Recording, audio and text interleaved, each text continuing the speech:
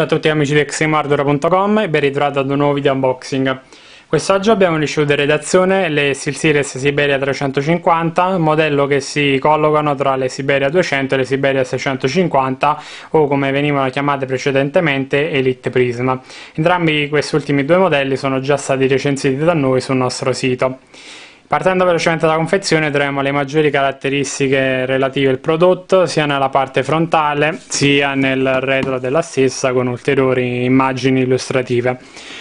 Nel fondo della confezione troviamo invece una sorta di tabella riportanti eh, le specifiche tecniche del prodotto, eccezione fatta per la dimensione dei driver che comunque se non andiamo errati rimangono da 50 mm.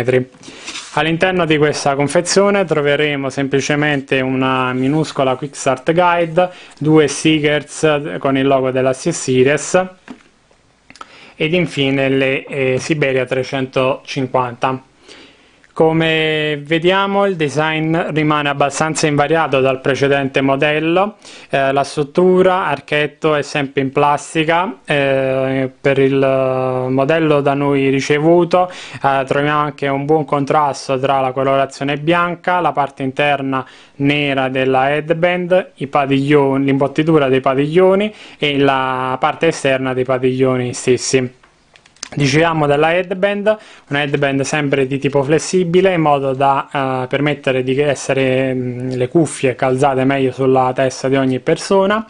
Nella parte esterna troviamo una superficie in similpelle con uh, il logo della Series, mentre nella parte interna troviamo un'imbottitura uh, di gomma però una gomma non come questa dei padiglioni ma una gomma abbastanza rigida che comunque non dovrebbe creare nessun tipo di problema essendo molto simile al precedente modello. Design della headband è leggermente ehm, scusate, cambiato con l'adozione di questi due fori clip eh, rotondi presenti all'estremità della stessa Passando ai padiglioni esterni troviamo una struttura e design invariata dai precedenti modelli, eccezione fatta per la struttura eh, diciamo, principale, centrale di questi padiglioni che è stata dotata del sistema Prisma RGB e quindi potremo tramite il software di gestione impostare un colore che ci piace o che si abbini perfettamente con la nostra configurazione hardware. Eh, superficie leggermente forata per dare maggior risalto alla retroilluminazione che noi sceglieremo.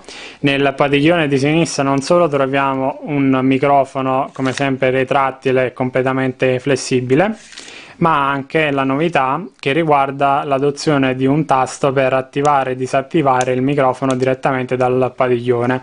È sicuramente una eh, funzione abbastanza carina e interessante per eh, i giocatori. Per quanto riguarda, nel, ovviamente nel padiglione di destra non troviamo nessun'altra caratteristica, il design rimane lo stesso. Per quanto riguarda eh, la flessibilità delle cuffie sono abbastanza flessibili seppure la struttura è in plastica mentre i padiglioni in, nella parte interna sono caratterizzati da un'imbottitura in gomma e un rivestimento in similpelle nella parte interna troviamo questo motivo abbastanza caratteristico.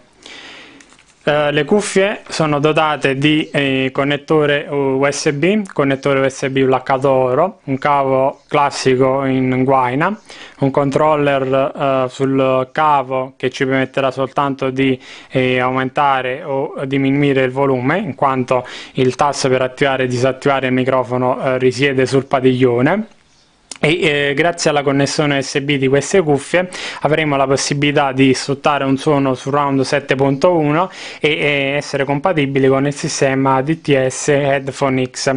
Quindi dovremo avere una qualità sonora eh, decisamente superiore a un qualunque altro headset da gaming di tipo stereo con ovviamente una scheda audio eh, integrata nella scheda madre.